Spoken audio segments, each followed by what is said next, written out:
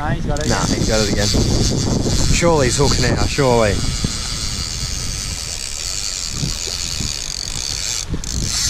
Yes. Mm. Come on.